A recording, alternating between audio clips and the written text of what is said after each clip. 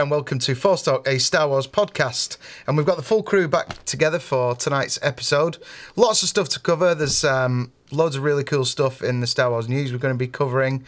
We're also going to be uh, discussing another beloved character from the Star Wars universe in Chosen Ones, and we're sharing with you the last two interviews from Star Wars Fan Fun Day. Lots to do. Let's get on with it.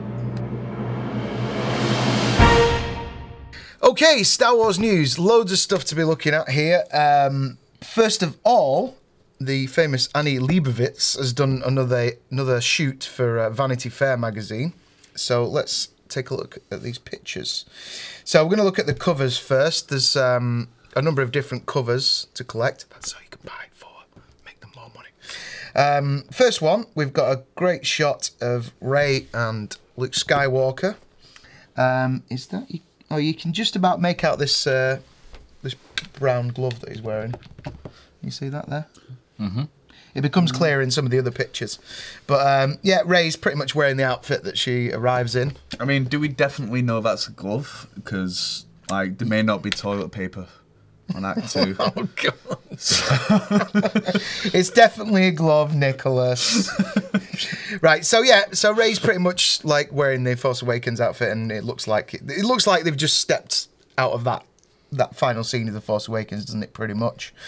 Um, the next one, um, we've got Kylo Ren, uh, General Hux, and um, Captain Phasma, but without the helmet this time. So we actually get to see her face. Now, do you think? Do we think she's gonna whip that helmet off? I think so, yeah. Maybe. Because she was so disappointing in The Force Awakens, wasn't she? So they need to flesh out the character, so I think, Yeah. I think it's time to reveal her face. Also, additional thing of new action figure. So that'll be why. yeah. If, if you're gonna do it, that'll be why. Yes, that's true. They've got they've got they've got uh, figures to flog. Quite so Gen- surprised that's her look, though. I thought they'd have gone something a bit less Game of Thrones style. Well, they can't really change her face, can they? No, it's just the blonde hair, though. It's you think they'd have gone dark might, or something? Yeah, might have gone for a bit something a bit different. Yeah, but- still is a little bit. Um, General Hux looks pretty much the same, although he's got his hair looking a bit slicker. Another look at Kylo Ren with his uh, with his moving scar there as well, of course. His new cape, Oh, and his new cape, yeah, Darth Vader style cape. longer. Yeah. Mm-hmm. Cool. Oh, and it looks like she's got a big silver staff as well Yeah. this time. It's interesting all the villains are unmasked in this film. Yeah.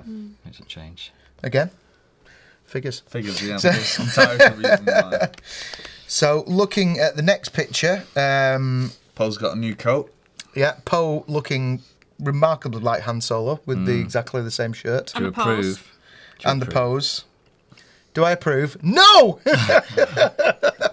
It's very um, Do I approve of them making all of the ma- slightly cool characters look like Han Solo, like they did with Cassian in Rogue One? Yeah. it's very Return the Jedi. there is it? one Han Solo. It might just be the look in the galaxy. I mean, there's two now. Well, Sorry, yeah, but there is. There is no. that I, I'm still just pretending that that's not happening until the film comes out. We'll just wait and see. Um, and it's the first time we've got a good look at. Uh, sorry, what's the female Rose? actress's name's Rose. name? Oh, Kelly Marie Tran. Kelly Marie Tran, uh, his character, and obviously they're hanging out there, so it looks like well, it seems obvious that her and Finn are going to have like quite a bit of time together, an adventure, possibly a romance. Possibly. I just hmm. hope Although Finn and Poe are looking quite close No. in that in that picture. they are. I just hope they've stitched his jacket up because that's still Poe's jacket that he was wearing when he fought Kylo Ren, isn't it? So That's true. it's a bit shame he can't afford a new jacket, really. Yeah. So I mean, it is a cool jacket. It's probably worth salvaging if you can. Can you can you stick leather in a bacta tank? Would that still work? Yeah, maybe. Why not? So he also has feelings for Poe if he's kept that jacket for that long and it's all skanky and blood stained. Mm. Oh, there you so go. wearing Poe's jacket. It's all right. It's okay. Don't worry. He might be, you Might know, be. He's all Yeah. yours. he might be st- he might be space bisexual. You never know. Space bisexual. Space, you know, like Carrie Fisher always used to say, like space before everything. When she Oh, was like, right, we were right, going yeah. through a space divorce, and you know all that Yeah, kind of stuff. So yeah. you just have to stick space in front of anything like that. I think you know when you're dealing with Star Wars, and obviously thermal exhaust ports. But let's not Yeah, no, retread let's those jokes again. that Carrie Fisher, the late great Carrie Fisher, there as um, Princess Leia, General Leia. Um, she's looking a lot more regal Hmm. in uh, in this particular film. Yeah, it's a great picture, that, isn't it? It is The cover's nice. Does anybody have any theories as to why the outfit is so dark? I think it's just uh, an official robe, really. I don't think you can read anything into it necessarily on the cover. And yet people always Oh, do. yeah. They're bound to, aren't they? What do you think? She has become a, a grey general in between. Maybe. Definitely not Kinda grey. hard to well, yeah, it still it's looks it all looks pretty cool. Um, so we've been through those. Now this let's go into these pictures of um, the characters. We've got this like um, I believe it's uh, some sort of space casino. is that is that what it is? It is. It's on the new uh, casino planet. Um, Canto something? Oh, I forgot the name. Just made up words, mate. It's, it's, it's derpalabalaba for the planet of heaven. yeah? But uh, yeah, apparently, apparently we're supposed to be seeing the more higher levels of society now in this film. Instead of like the grungy, Yeah, Mos Eisley cantinas, we're now seeing the, you know, the, the hoi polloi yeah, of it makes galaxy. Nice that makes sense because um, Canto Bight, it's just come to me. B I G H T. You're all probably going to correct me because it's probably wrong. but see. Michael's been doing his homework on holiday. Um, but When yeah, I that's this- that's interesting that because like like you say, we've never really sort of seen the uh, the Star Wars, the space bourgeoisie, No, no. have we? No, the only thing is, when I saw this, at first I thought it was something from Doctor Who. It didn't look very Star mm. Wars. Yeah, yeah, Some of the aliens does look a bit a bit like they've just walked off you know, the BBC set. There's, I want to see some original Twi'leks and Rodians and some of the original aliens that were like throughout the original saga. Mm-hmm. They seem to have I get forgotten that, about them now. but also at the same time, space is pretty big. We're not going to keep seeing the same species. Although that being said, we always see humans, hmm. so humans are pretty Yeah. common. So it's good that there's some new looking characters, but Yeah, it does. It also feels a little bit. Um, clean. no, well, yeah, but it also feels a little bit like Fifth Element Yeah, vibe Yeah. as well to it. Yeah. Um, but yeah, I, I, I, I think it'd be interesting to see another level of, of society, like you say, in this film. Yeah. There's a lady who looks like Peter Kay in one of the pictures as well. Which is uh, interesting. We never know. Star Wars car share is coming up. Yeah. Um, so there's a shot of Kylo Ren swinging his um, lightsaber. no, Sarah. there's not really much you can say about that. I mean, it just No. looks like Kylo Ren Yeah. swinging a lightsaber. Um, I love the the black and white shot Yeah. of um, Mark that? Hamill, Carrie Fisher, Kathleen Kennedy with Ryan, Ryan Johnson. Johnson. I said Rian last week because Corrected him. I, I like to mispronounce everybody's names. But with an I, really, it's Rian. I was on it? holiday watching the show and I was like, it's Ryan. If you want to be called Ryan, spell it with a Y, mate. Simple as that. As you know, get invited to the premiere. Sorry, we, we, we've got to blame his parents, not uh, not Ryan. But yeah, I, lo- I, lo- I love I love that shot. Um, obviously, the uh, the famous Star Wars dogs oh yeah, visible in the picture there, Gary. And is it Millie, Mark Hamill's dog? sure, I think it, I think it is Millie. Yeah.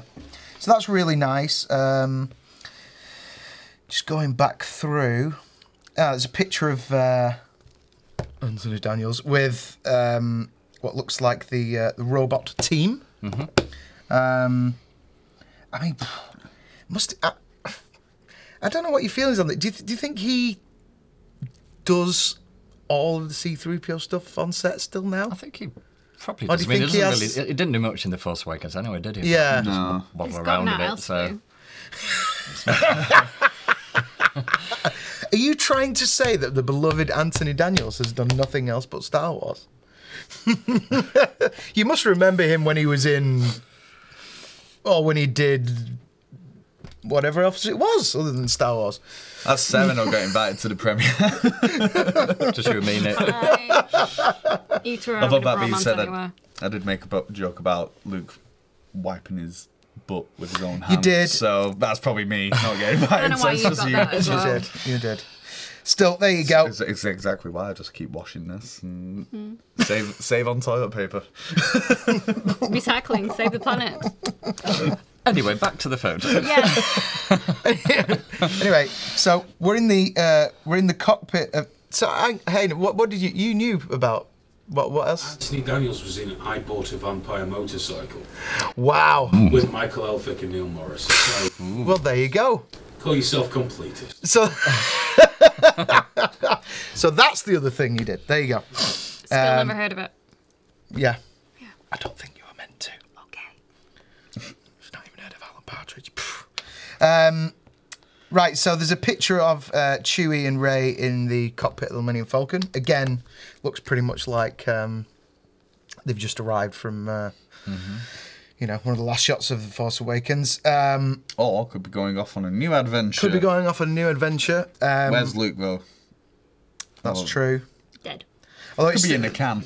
Just, I, I'm assuming the Millennium Falcon has a toilet oh yeah, yeah, I think with so. fresh toilet paper. There you go. So, I'm having a shower for the first like, time. oh my god, I'm not seeing this. No, isn't, isn't there like a, isn't there like a dro- isn't there like a droid in the in the toilet that sort of just take cares Like a jet wash. takes care of that for you? Yeah, yeah. A biddy. A biddy dress. like like you know bag to bag to fluid gets shot at you. We have we have actually seen our first ever Star Wars toilet in Rebels. What? really. That was, that was a debut for this last season. There was our first ever Star Wars toilet. We we get to see an Imperial officer having a whiz. So does that then mean that everybody poops is now canon? Yeah. Oh my Excellent. God. Luna would be glad to hear that. Um, yeah. So it still feels kind of I don't know. It, it still looks like brand new. That it still feels kind of weird that it's not like Han Solo and Chewie at the at the controls. I think but- we need to accept that hands. I know, I know. Chewie will never die though because it's just a bloke in a costume and therefore endless marketing. There you go. Uh, don't get yeah. Let's not get me started on what, how they mistreated the uh, legacy cast when it came to uh, merchandising for uh, Force Awakens. oh yeah. Go on, There wasn't well, you any. might as well. There wasn't any. There wasn't Well, any. there's that uh, Elite Series Han Solo. Yeah, but those came so much later. When the film came yeah, out, That's true. That's true. everything was the the the, the, the new main characters, uh, BB-8, C-3PO, R2D2, and Chewie. No Luke Skywalker. No Carrie Fisher.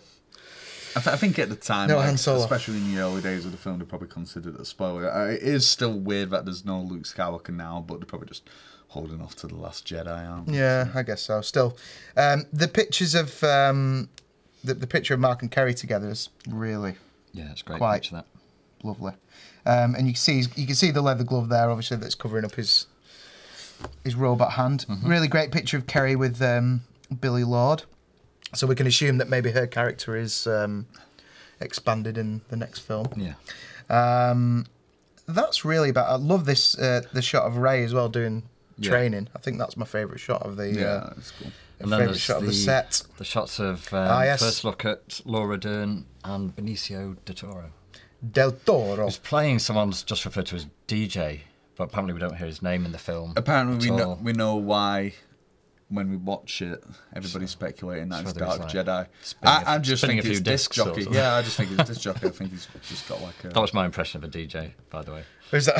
What do you want to do DJ Michael I'm in not the going mix. to any of your concerts. Wasn't this? Wasn't there? I, did I see some um, daft fan theory that compared uh, Benicio del Toro's character to um, the guy from Rebels? Ezra. Oh, Ezra. Yeah, I mean, no, not that- Ezra. The um, Oh, I don't think it not was Ezra. Ezra. like I have heard a prevailing theory that he will be playing Ezra, but whether that Right? I is the don't think case it or will not. be. I think it'll just be a new kind of bounty hunter type character. His, his costume's quite gritty, into it? Sort of a bit Han Solo esque and Yeah, he looks cool, but then Benicio del Toro always looks cool. Um, but what about Laura Dern's character? I mean, uh, that's Pink she's hair. definitely part of this. yeah. Um, I'm loving the hair. he's definitely part of this um, the elite elite resistance hyperlight. Yeah. leader. She looks very Hunger Games, I think, in that. Yeah. Yeah. 'Cause I've, I don't think I've really seen that many characters with you know funky pink or green hair or anything like that. It's Ne- quite never an artificial it's hair quite colour. other than an sci-fi-ish. alien. so this is our fir- first human with artificial hair colouring. Did you like the dress, Sarah? Yes. Would you wear it? No. No. I think you'd suit it more.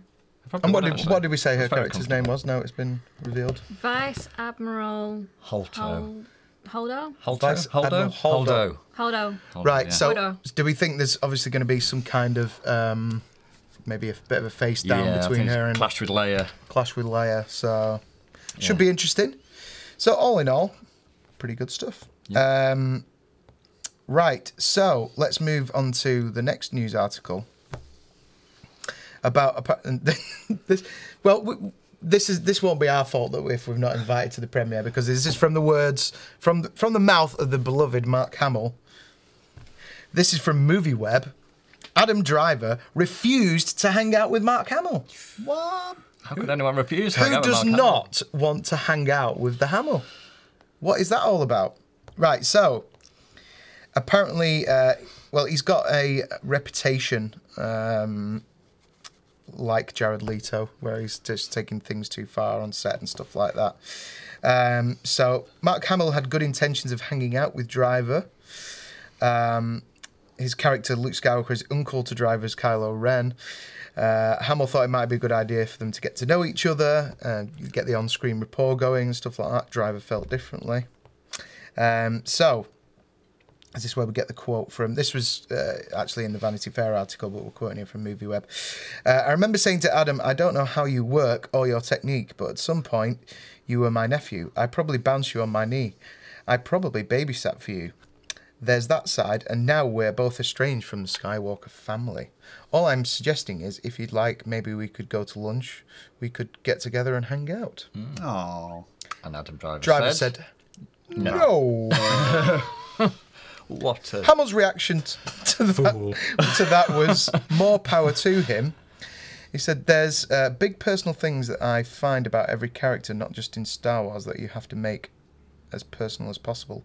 It's the big joke about being an actor that you make everything you're doing seem like it's life or death. The thing about that character that I find painful, that I really relate to, I kind of prefer to keep to myself." So, AKA spoilers. yeah. so he just kind of uh, didn't want to hang out with Mark Hamill. To me, though, if he's if he's taken that approach, Mm-hmm. he should have gone out because he is Luke's nephew, and then, like Mark Hamill Yeah. says, they would have hung out. So Yeah. then, then it would kind of build the character more than just Yeah. trying to be angry all the time. So Yeah, yeah, I'd have gone for lunch with him. exactly. Calls himself a method actor. Indeed. I don't know.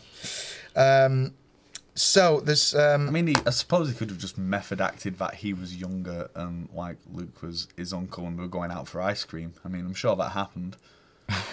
yeah. So Unless Mark actually did mean he wanted to sit Adam Driver on his knee and bounce him up and down. Oh. Maybe, maybe that's.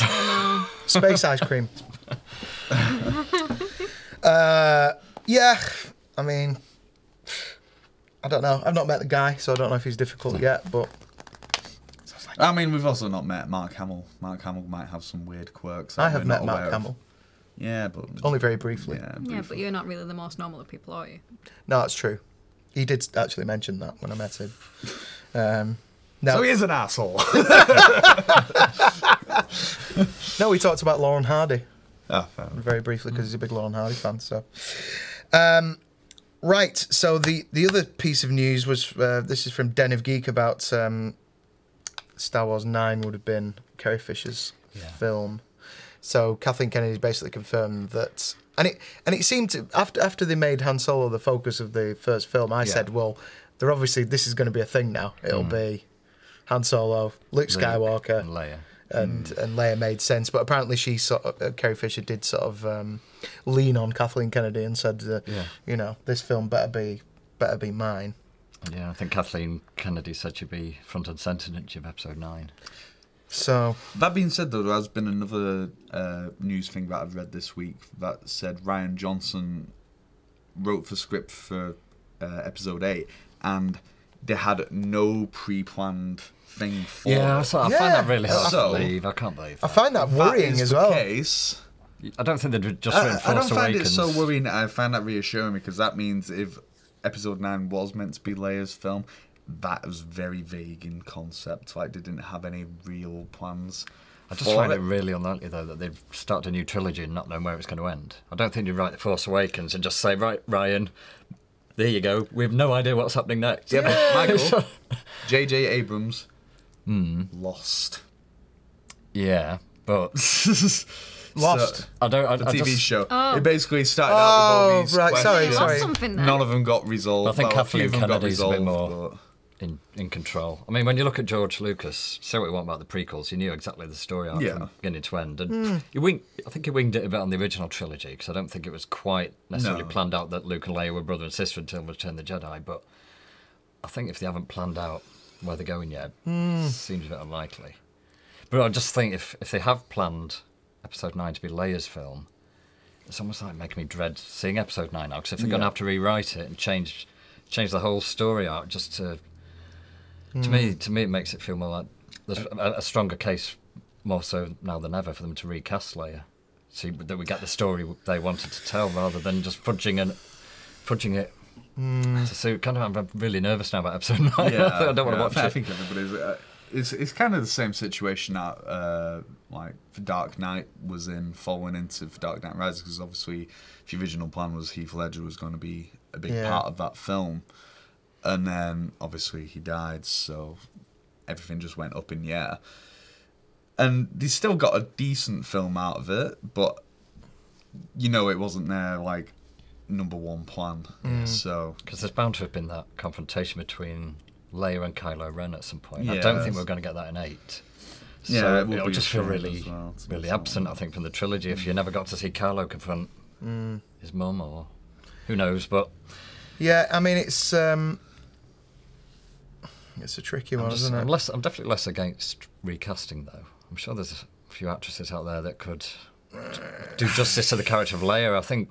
I think it s- serves the character right to complete the story rather I know, than I know that just write her off. It, to be honest, like I'd, I'd be okay with recasting, but only if they did a Grand Moff Tarkin job and made it at least try and look like Carrie Fisher. Because Yeah. I think uh, You'd it'd be to, really yeah. off-putting for me to go into Yeah. a film and just try and accept a new char- like a new actress as Leia, nah.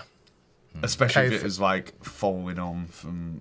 It's, it's like for first couple of Harry Potter films, like you've got for changing actor from. Uh, I forget what the original one's called, but to- Dumbledore. yeah, well, I know it's Dumbledore, but I f- to be honest, I forgot both of the actors' names. But yeah, that that change, it's like wasn't as big of a deal because it wasn't such an integral character. But obviously, Leia is a massive deal in Star Wars, so Mm. Yeah, Yeah, can't really do tr- that. it's tricky, isn't it? I'm against the recasting, but We'll see. I suppose it'll end very much depend on how episode eight ends. yeah, And if it feels like there's just really hanging storyline where something it just ends where you need to know what happens to Leia, Mm-hmm. they'll have to do something. They can't just then. It'd be like getting to the end of Empire Strikes Back and then saying opening crawl. Oh, Han died when he was frozen, you know, or right, yeah, Luke fell off Bespin after all, and you know you you need to know what happens to that character. Yeah. Um, so it depends. I think what they do in eight. yeah.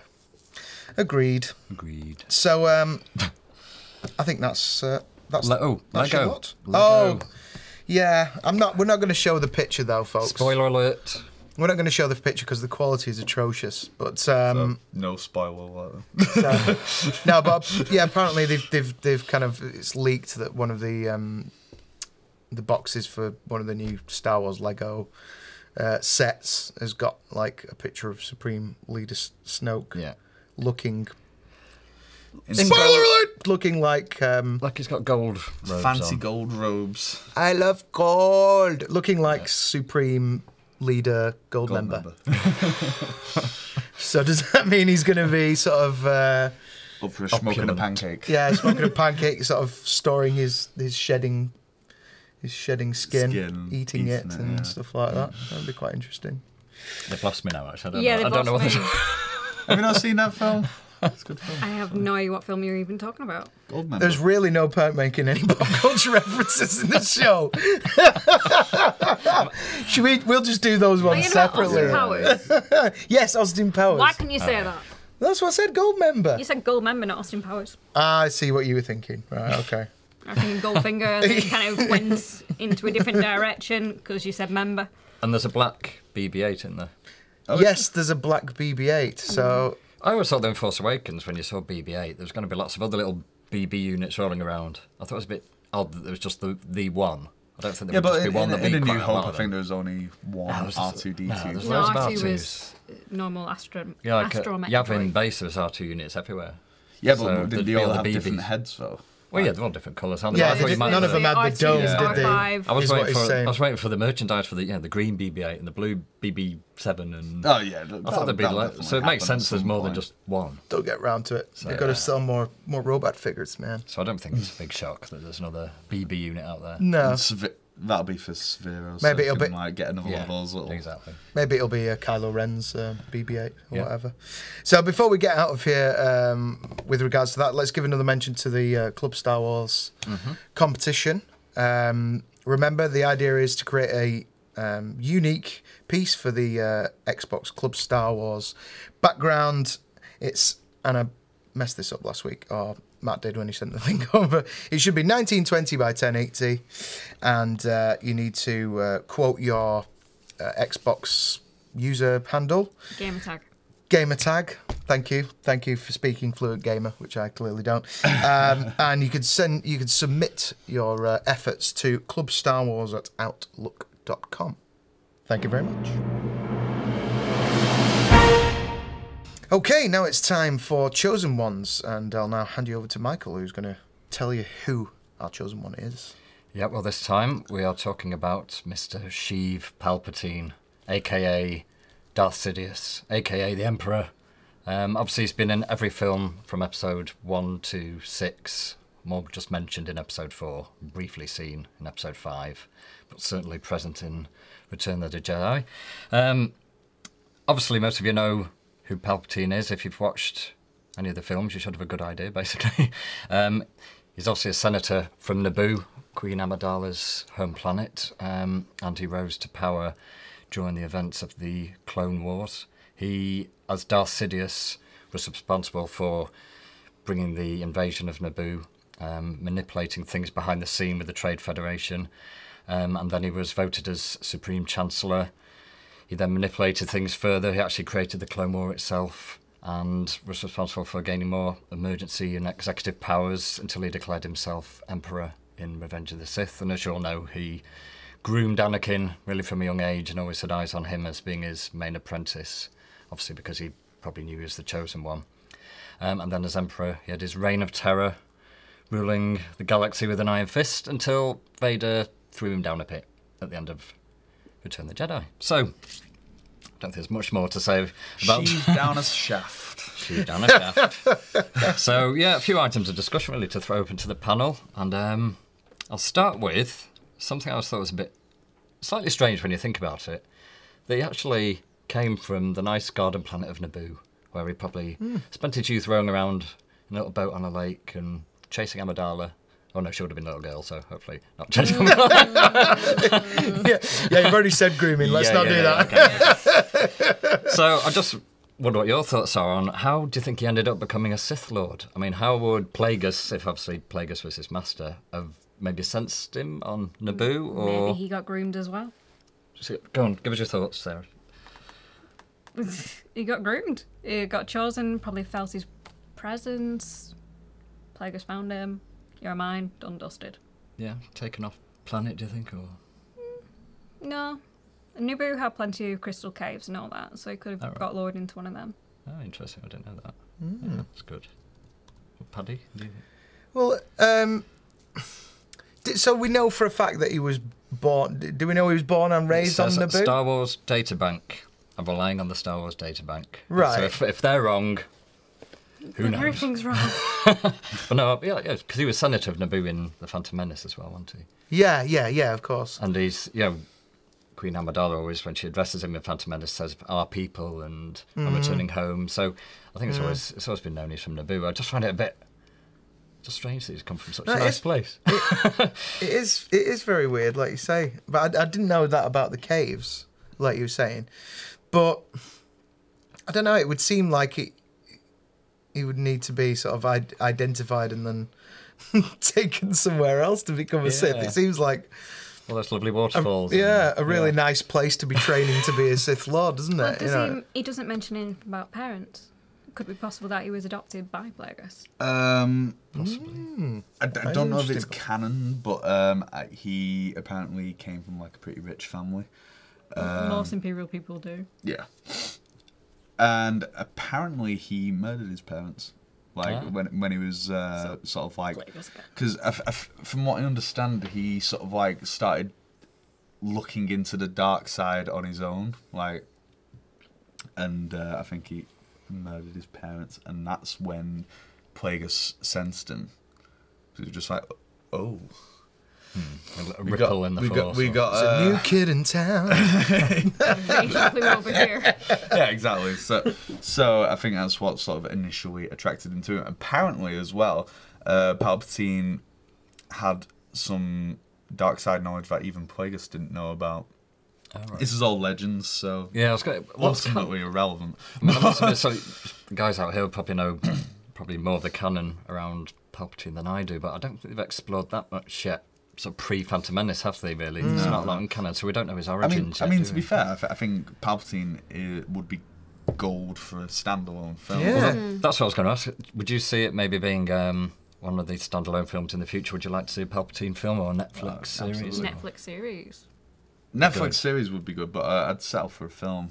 But the real question is, like, I'm assuming we're doing young Palpatine, young Sheev. Yeah, it'd have to be before Phantom Menace, wouldn't it? So- Yeah. I know some people have said they'd like Tom Hiddleston, yeah, Hiddleston to play him, so um, yeah, yeah. a bit uh, too tall? uh, uh, complicated Star Wars names again. uh, to be honest, I'd, I'd, I'd be okay with Tom Hiddleston playing Palpatine or Palpy, as I like to call. him. Palpy. I think it would make a good origin film, I think. yeah, yeah, because like you say, there's there's in, there's a hell of a lot of um, mystery around.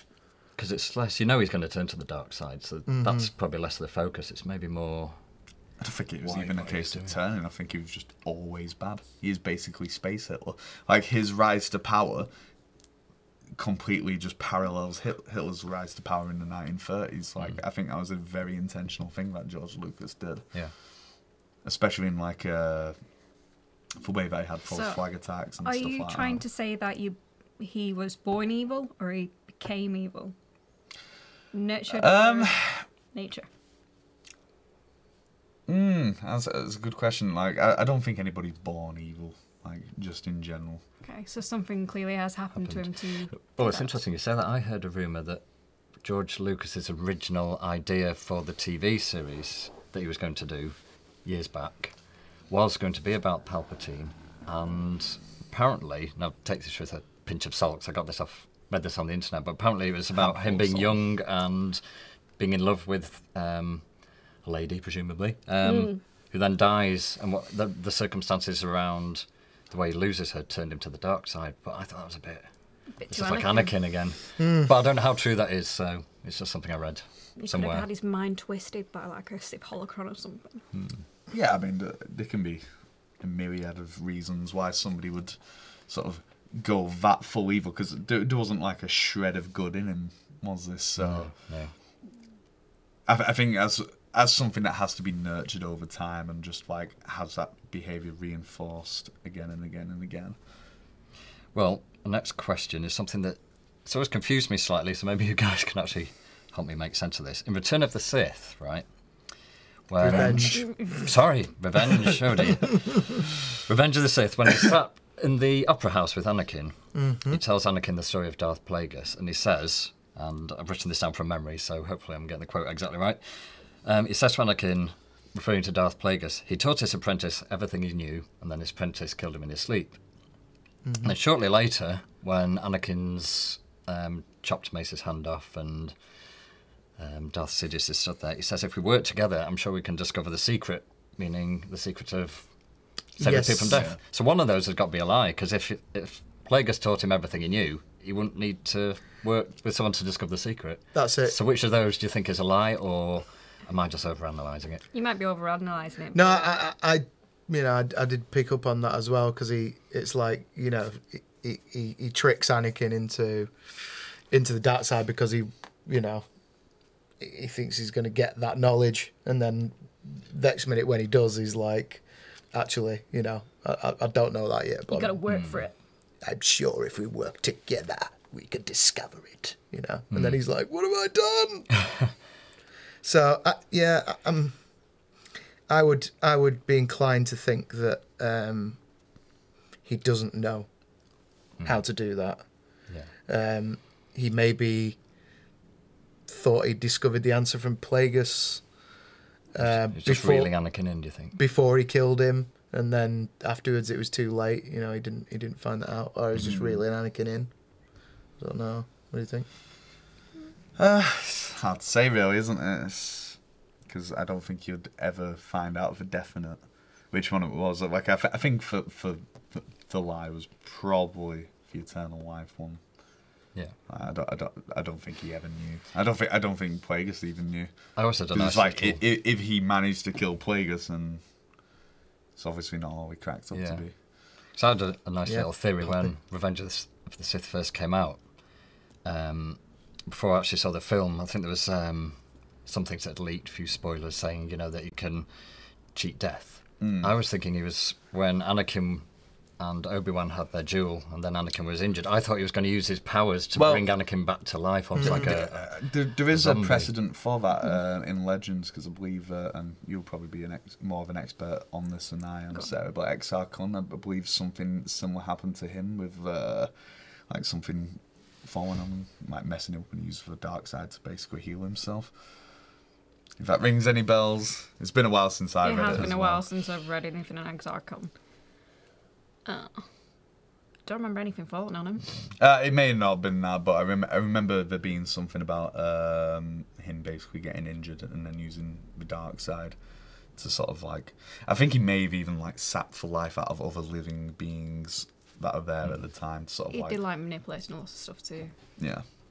draw their energy. So I think that would have been a, a good way they could have done it. You know, and he, he finds Anakin on the lava and he sort of touches on his forehead. I thought oh, there's going to be like this mystical red, sparkly Yeah. stuff's going to appear around Anakin now and he's bringing him back to life. And that would explain why in Checking if he's well done. it's a bit of a pork crackle. But, um, oh, going Goldmember on it. Yeah, again. but that would have explained at the end of Return of the Jedi why Vader dies when he's killed the Emperor as if the Emperor had been keeping him alive. But anyway, I digress. Ah, But, uh, Well, um, that would have been better. I always thought I never quite understood why a couple Tied. of zaps, a couple of zaps to Vader's life support would have killed him. Really, We keep but- saying this. These these these podcasts are just basically our audition tape for uh, to be on the Lucasfilm storyboard. You know what I mean? So to me, if that had been, if it had actually been Palpatine keeping Vader alive using his dark side powers, Mm. it would explain when when he killed Palpatine. That's why Vader died immediately after. But uh, I, We I, wish I, I understand things were that. Died of a um, broken heart as well, like Papa. I, I understand that um, like, it, did, basically just fry his life support. That's why uh, Darth Vader doesn't ever use Force Lightning because Yeah, he, 'cause he he, he, had the power, but it just it just messed with his life support, so he couldn't do it without being backfire like, up his he'd be hands. like, I'm really mad. Pacemaker. So, well, move, moving so forward wasn't worth it. with um, the new canon, I've not yet read the Aftermath trilogy. Now I know there are some hints in the last book that um, Palpatine was obsessed about going out to the unknown regions, regions of the galaxy and looking for the source of the dark side. Um, now I know we've touched on this before. I think in a previous show whether Snoke's actually come from the unknown regions. Um, but would you have liked to have seen, or would you like to see more of that explored in a, a future film rather than read it out in the books? You know, maybe like if the, even if they do a an animated series, see Palpatine communicating with Snoke, or what else he was doing when he was chilling out on Coruscant all those years. Um, personally, I, th- I think it'd probably be best left to the imagination. There's a lot of stuff with like the bad guys often are. It's like seeing Anakin kill a bunch of like Jedi's and stuff was nowhere near as cool as just imagining it. So I, th- I, th- I think it's probably going to be the same way with uh, Palpy Yeah. and uh, exploring fear out of regions. Sarah, Mm, leave it to the imagination. imagination. Okie doke. And one more question. I don't want to drag it out too long. Your, your, your opinion's not worth anything on that. Because I pretty much agreed with you anyway. So yeah. You know, Do you think, in hindsight, that uh, the Emperor's death was a bit lame being chucked down the reactor shaft? You know, and you've seen all the build-up in the prequels. and what Absolutely not, no. No, do you still love it? Uh, 'Cause you're, you're, that's, the, you're coo- that's the coolest death of all time. That's, how- that's how I hope I die. Nick's favourite character, by the way, is the Emperor. Into Just, just falling like ah. It's like it's massive. He must have been falling for so long. Did he hit anything on the way down? He's like ah. He must have been. I don't, it's just, I'm it's just- still alive, but I'm very badly burned. just think that with all his powers, it's like when people find out, well, how did he die? Who killed him? He just fell down a shaft. Yeah. A bit- He, did sheaved He him got down a thrown down a shaft. I, I, I'm just kind of disappointed I didn't hit like the Millennium Falcon as he, as he fell down. you saw him floating in the atmosphere. Yeah. all like, I mean, Darth Maul had a worse death than the Emperor, really. Well, he didn't die either, did he? not No, dead. no. Well, So, he did die. So if Darth Maul didn't die getting chopped in half, surely the Emperor survived.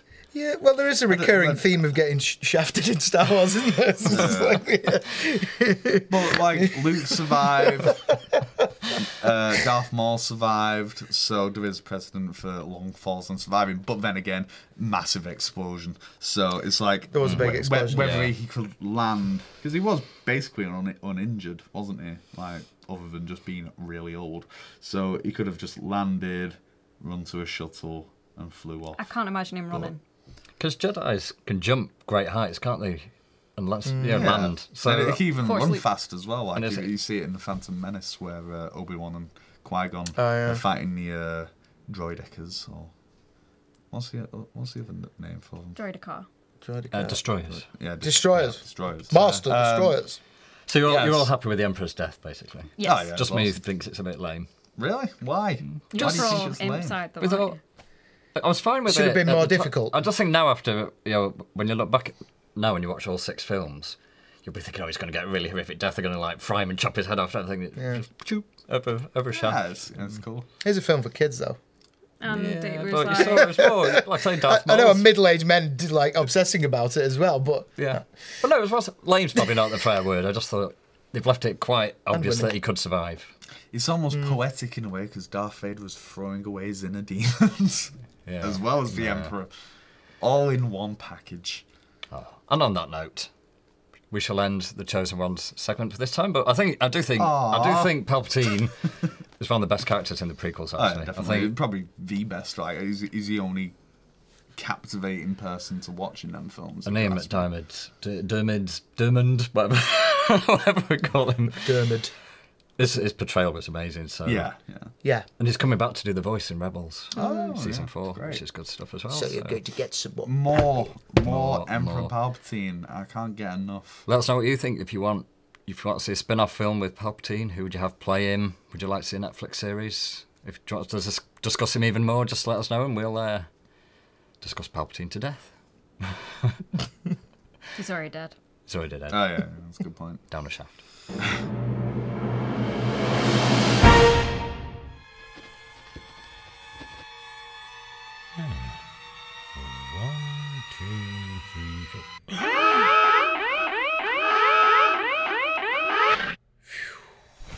Fair enough. We don't really do chaos at Accounts Direct, but we do offer a whole range of services to help your business run more effectively, more efficiently, and make more money.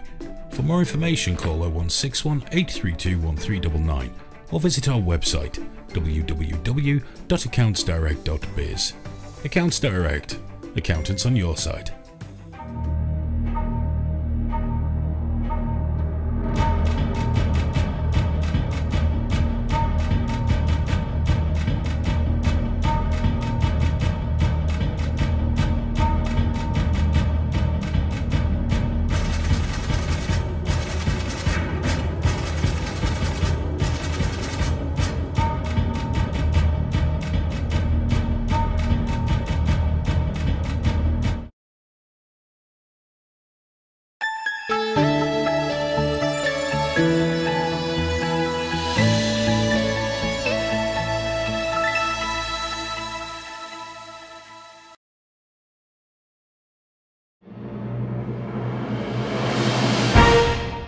Okay, so we're now going to finish off the interviews that uh, we did at uh, Star Wars Fan Fun Day. And first of all, we're going to uh, show you the interview we did with Femi Taylor, aka Oola from Return of the Jedi. Check it out. So we're here at Star Wars Fan Fun Day 2017, and it's not just fun day; it's a fun weekend this time because it's 10 years. Femi wow. returning for the second, third time, No, second time. second time. Yeah, second time. So I'm here with Femi Taylor, of course, from Return of the Jedi. But we're not going to talk about Star Wars first. We're going to talk about what you were doing in show business, how you got involved in show business in the first place. Right. Um, Yeah. before we start talking about that Star Wars that everyone wants to talk about. Um, yeah, I was. Um, it's funny because I was when I was four years old. I, uh, one of my best friends took me to a dance class, and um, I went. and I wasn't going to go, and I thought, and she said, "Why don't you come?" I don't really want to go. I want to, you know, stay home and play with my dolls. And I went along, and um, I came back home. I said, "Mummy, mummy, mummy, I want to be a dancer. I really want to be a dancer." I found my passion when I was four, and she said, "Well, darling, can you do the splits?" And I was trying to do the splits this way, and I like, "Oh, I can't get down." She said, "Try the other way," and I tried. I went split like that. She said, I think you'd be able to dance. You've got to be supple as well. So from from being four years old, from my first dance class, I just suddenly thought it was a liberation. I found uh, a, a passion. I found a purpose. And from then, I did all my dance um, classes every week, three times a week. I did all my ballet exams, dance exams. And then um, after my GCSEs, I got into this really good school called the London School of Contemporary Dance. I got in that, trained, and then there was an audition for this West End show. All right. Um, and back then, I wasn't allowed. We weren't allowed to audition, and if we auditioned, we got kicked out. So it was very, very secretive. And when I was trained, it was sort of contemporary. It wasn't any, it wasn't of jazz or the, the commercial side. I was going to get into the company. But anyway, I just for this West End show, American show, and they gave me one of the parts. And so my dad said, you have a choice. You get your equity card, you get experience, um, you can still train after that, or you can stay at the contemporary school. Be very hard to get into a company because there's only one really good company. Um, and you know what path I chose? I, I, I chose the, the, chosen commercial side. Yeah. That's the best form of education, really. It is. No, absolutely. Learn on the job. Learn on the job. Yeah. Which is pretty much what we're doing here, to be honest. Doing a very good job. Thank you. So, um, so we've done that. You were involved in Cats as well. Yes, from that, I mean, I, I went to Germany three months and did a film there called the Apple Film, and then um, I auditioned for Cats. And again, I wasn't going to audition. Something said, the higher forces said, go and audition. I auditioned for Cats, And you were in. and I got in, original cast, all those years ago. So, um, so now we're going to talk about Star Wars. Well, Star Wars comes up next. Yes. So that's that's the next scene in, in, in the Femi Taylor film. yeah, chapter chapter two. Yes. Chapter two. How did the role of Oola come to you? Well, I was doing Cats at the time, Yeah. and my agent called up and she said they're casting for this film and um, they won't tell. I keep won't tell us what it is. I keep pestering, saying, "What is it?" Said, "We can't say, we can't say anything, can't say anything." But she's got to turn up. She's going to go. Um, yeah, she's going to be able to dance and um, she's going to go in her bikini and to meet the director at at Twickenham Film Studios. So Yeah. being a trained dancer, I'm taking my, my, my, my career seriously. I thought this is just ridiculous, but I'll do something again. The higher forces told me to go along. Uh, every time I'm not going to go, something pushes me to go. Yeah. And it's a life changing um, decisions that come out of it. So I went along and um, I saw Richard, the late Richard Marquand, and he asked me a few questions. And he said that, look, I'm so sorry, but I've asked you to come in your bikini because the, the role that you're going up for, we need to see your body shape and we need to know if you can dance. So I, I reluctantly took off my coat and felt very, very um, uh, uh, conspicuous doing it. And then he just asked me to walk up and down, pray. And Oh, and I did it anyway. And he said, "Yeah, you look, yeah, you look all right." And then he said, "Well, I'd like to call you back for a second audition, but this time you've got to dance. Can you dance?" And, I, I'm really confident dancer. Absolutely, that's my that's my path. So I went back and had this grueling audition, and um, still didn't know what it was. Still didn't tell what it was. And then I was busy in my bag getting something, and someone said, "Here, here, what's this next? What's this? What's this all about?" I remember that. What's this all about? They said, "Oh, it's the next Star Wars film." And then we went, "Oh my goodness!" And then when I went back, I was doing Cats at the time, so I went back um, that evening and took the choreographer back, and he said, "I don't want to say anything, but I think the role." And then when I got back to the stage door, I had a call from my agent saying that can they call? Can I call the next morning? And they me. Amazing. So, what was it like being on, on the actual set? What's your memories of shooting it for the first time. I have lovely memories. I have lovely memories. But I had done a couple of films. Actually, I think I'd done one film before that, the Apple film. So I wasn't phased by you know being on set and the the, the, the, the magnitude of it all. It was just for me. It was stepping into a job, doing it, and stepping out. But the set was great because it was in the palace. They built it. It was massive. Um, we also had Carrie Fisher and Mark, late Carrie Fisher, sorry, and Mark and Billy and um, Boba Fett, Jeremy Bulloch, and Mark Carter. I mean, I had the I had the Harrison Ford. They're all there on set with me, because they were shooting the scene before that and after. Ken Lake, Kenny Baker, Anthony Dack were all on my scene. Fantastic, and the atmosphere was so lovely. Because again, all actors, we were just there to do our job, to make sure we did our job, and go home again. But um, it was it. And there was lots of times I was just sitting on that throne, waiting to be, waiting for my scene to be shot. Yeah. We had little chats, and it was just really nice. It was like a family. Amazing. So, and of course, um, you know, the film came out and you were recognised all around the world, and this has obviously led to you coming out and going around the world again, doing all these signings and stuff like that. But then in, would it have been 96 maybe? Oh, yeah. Because they came out in 97, you got another call to go back. yeah, it was 95, I got another call. Out of the blue, I got a call again saying that we're trying to um, find you. We were trying to find you for about six months and they didn't think they were going to find me. And I still I, I had this other interview. I just had, to this day, I have no idea how they found me. Because I didn't tell anybody I was going to New York. Like, I just thought, how did they find me?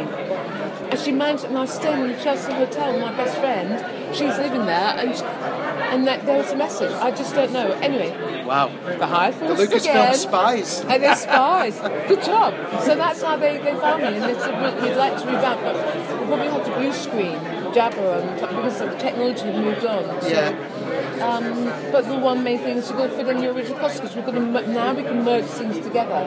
I wanted to have a continuous thing from Oola's how she dies and how, what happens. So yeah.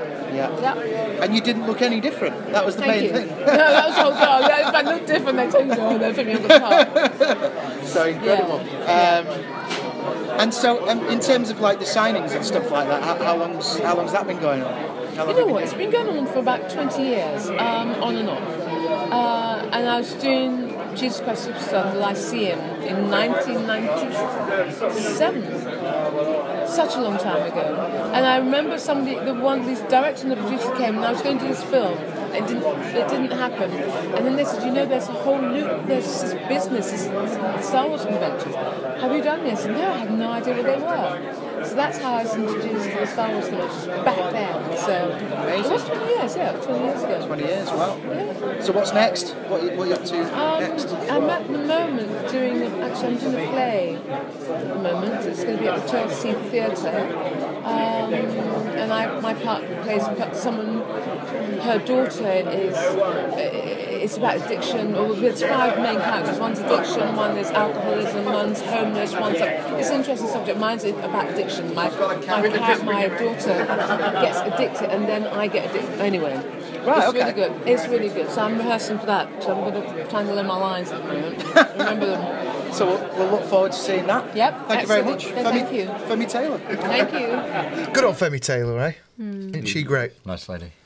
So uh, next, we're going to do uh, the interview uh, with Paul Weston, who's a legendary stuntman who's worked on Return of the Jedi, and he's also uh, got parts in Rogue One. He worked on Raise Lost Ark, loads and loads of stuff. Great guy. Check this out. Right, so we're here again at uh, Star Wars Fan Fun Day 2017.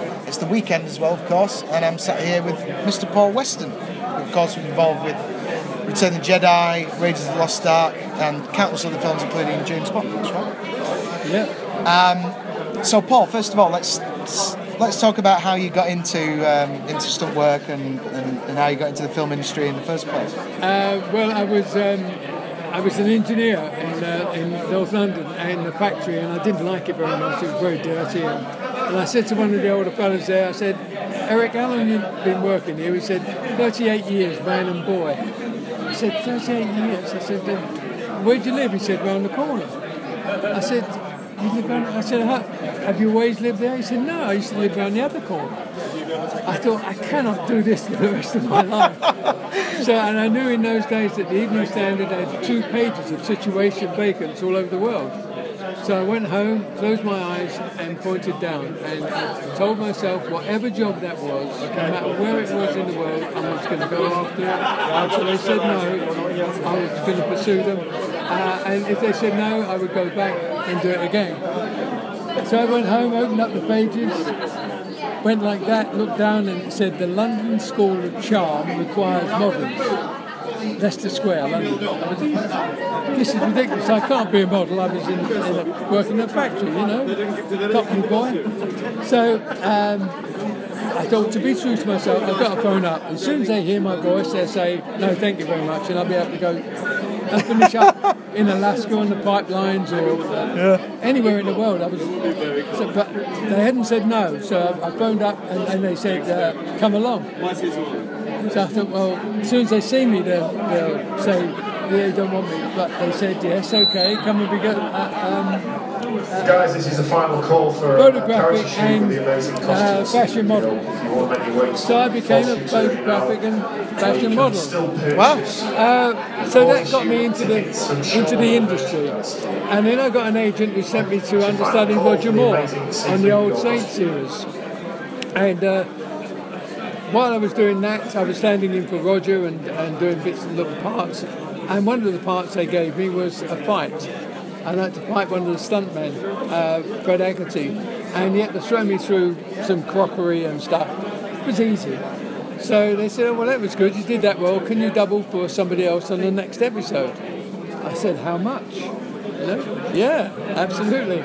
So then I started doing stunts, and I, I went on to do double Prestige on the Avengers, and uh, all the, the, the guys all over all the um, TV series. Jason King, I had long hair and a big moustache. So yeah, I, I, that's that was my start into actual the big movies, and then I got on to um, Dirty Dozen.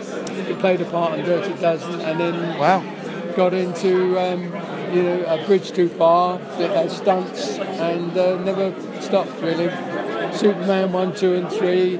Um, so I was stunt uh, doubling for um, Chris Wick, and um, I was the stunt coordinator as well. Next So shoot will be with that really got me into the, Plays R2D2. Wow, fantastic. big, big movies. So, well, we're here to talk about Star Wars today, of course. So, so we need to talk a little bit about Return of the Jedi. Um, Yes. So, I mean, obviously, you'd, you'd had a massive career up until that point, anyway. Done lots of big movies. Um, I assume it was just another job. Yes, yeah. They, they got called me down to Pinewood and we tested all the costumes and whatever. Then they said, well, uh, we're going over to uh, California to do the exteriors. So I said, yes, fine. Uh, and uh, suddenly we were in California. As uh, you know, um, they didn't. They tried to keep it as quiet as possible, so that the film was called um, uh, Blue Harvest: A Horror Beyond Imagination uh, and we were sp- supposedly sneaking into America, really, because they didn't want anyone to know that the Star Wars people were there. So we was all in the queue going into uh, uh, Minneapolis and St. Paul. They didn't want us to go into LA because it was too direct. Sure. So we, we went into Minneapolis and St. Paul's, and the guys were a bit wary of us because we were told that we are to, to tell them that we were only tourists. So we were trying to sneak in, and they were very suspicious. The uh, the, the guards there, and uh, the and they, they were asking us all sorts of questions. Oh no, no, I don't know him, and uh, all that was going on. And they they got uh, Stuart Freeborn. It was his turn, and he had a little case with him, box. So they said, "What's in the case?" He said, "Well, it's just some stuff I'm bringing in." What's in the case? So he had to open it up and took out Chewbacca's head. and they went, Oh, you're the Star Wars people, come in. and we just walked through, it was wonderful. But it was, uh, yeah, once we was down there in Yuma, it was uh, back down to work, you know, and uh, Yeah. it was very hot, and especially in the costumes. We had, you know, rubber uh, hands, and Yeah. uh, they used to feed us through uh, long straws and open up our mouths and put fans in there because it was uh, as I say, 110, 120 sometimes. In the, we were in the sand dunes, and the heat just coming off the sand was enough. And then when you got a fight, uh, uh, it was uh, was more. But then I had a fight with Billy Dee Williams and his stunt double, and his stunt double's cable broke, and he fell on top of me and broke my leg. So I fell into the Sarlacc pit with a broken leg. You're joking. Yeah. So was that um, was that Corey Dee Williams then, his his son? No, it was uh, Julius, uh, Julius LeFlore. But then um, later on, um, his son took did a bit on it. Took over, yeah, Yeah. yeah. So you would have worked with Peter Diamond as well, as you? Yes, yeah, for many years on with Peter. I, one of my first auditions was with Peter Diamond uh, in 1964. Wow. So that's a long time then. Yeah. Yeah. So um, yeah. So then from Return of the Jedi, um, you you moved on and you've just recently done a role in uh, in Rogue One, yeah. Yes, I also was in um, uh, Force Awakens. I doubled for uh, Max von Sydow uh, in the Ah. opening sequence. Yeah. Uh, and then they phoned me for uh, to play the engineer, one of the engineers on the Rogue One, and I've also done a bit on the one that's coming out. Oh, fantastic! Um, on uh, the Last Jedi. The Last Jedi, right? So, um, what what have you noticed in the difference since um, you know it's obviously the the series is, is going over to Disney and and uh, you know obviously there's been a lot of Yes. Well, um, developments with technology since. But what have you noticed the difference between Apart from the paranoia, then and now? Oh, the paranoia. Yeah. you can't do anything, can't mention anything when you walk onto the set. When I was doing uh, uh, the Force Awakens, uh, I went to makeup and hair, and then uh, they said we need you on the set. So they came to my dressing room, put a cloak over me, and guided me onto the set. I did my bit, took took the cloak off. I did my bit, put it back on. It helped me back to the. no one could see what I was wearing or whatever. It was just the paranoia is amazing. Um, but apart from that, the technology has gone on, and the biggest thing that um, I've noticed, and I used to love wire work because I did Aliens and I did Superman, and uh, it was all wires, and um, is the wire work that the technology that's gone into wire work these days is phenomenal. We get our guys, the stormtroopers, being wound back and flown all over the place, and that's not digitally enhanced. That is our stunt guys in those costumes being blown up and thrown around and, and whatever. So and then they could just rub the wires out then afterwards. yeah, yeah, yeah. yeah. Just when I used to double fly for Superman, we took them down to 18 gauge piano wire, literally a, um, a cord from a piano. Uh, and it was so thin because they couldn't get rid of it. Yeah. If they wanted to get rid of wires, they had to blow up each frame and paint it out. So we would line up wires against buildings to see if we could get away with it. Um, and then one time, when the burglar was going up the side of the building on Superman uh, 1, um, and Superman arrives and he falls backwards, I Yeah. was doing that sequence where Superman flies down to catch him. Oh yeah. And as I was flying, because we had the, um, uh, the side of the building on the floor with the burglar falling along the floor, and I was standing there and I took off over the top of him, but the wires broke and uh, I fell on my head and broke my cheekbone and damaged my wrists. Um, but the wires broke, and then we realised that wires do break. So then we started using Bowden cable, which is uh, maybe up to six little thin wires, but all together. Uh, these days, you can have a cable as thick as that on your back.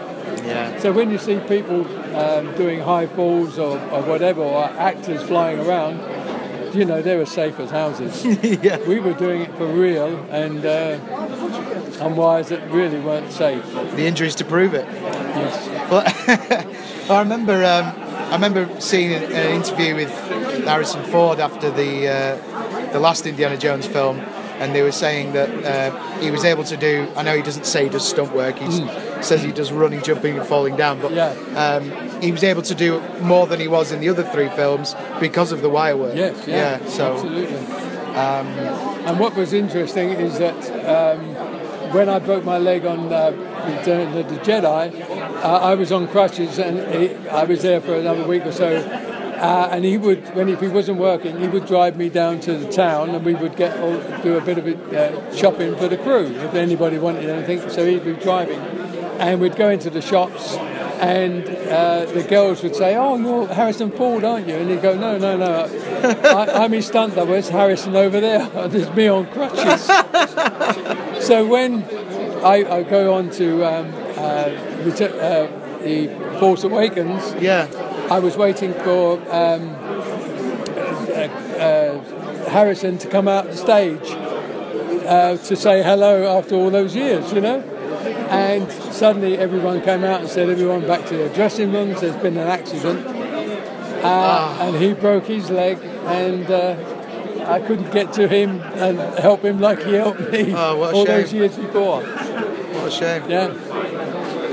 Well, Paul Weston, ladies and gentlemen. Pleasure. Thanks very It's a much. pleasure. Thank you. Okay, folks, that brings us to the end again of Force Talker Star Wars podcast. Uh, we'll be back again, of course, in two weeks to uh, dissect the hell out of more Star Wars stuff. But Michael, you've uh, Yeah.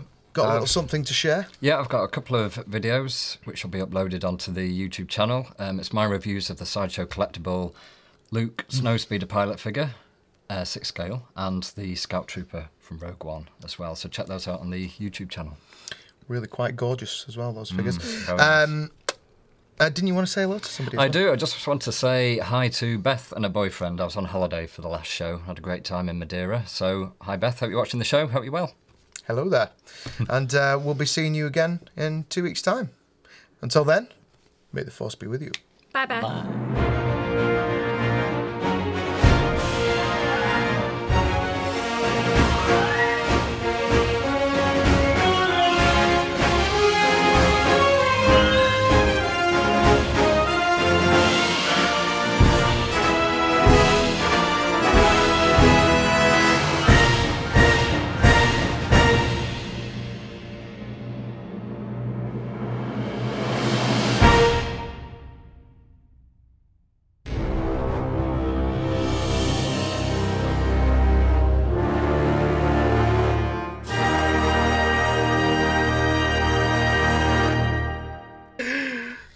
Okay.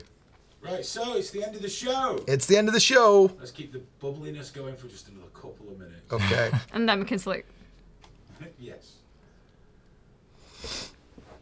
Okay. It's, it's We're getting a rolling. bit cloth now. Ah, wank, I think. that's it, yeah, that's going in. so I'm just getting just get the energy up before the end. So there we go. you got all the material you needed. What did he say? He said wank, Wank, I I think. think.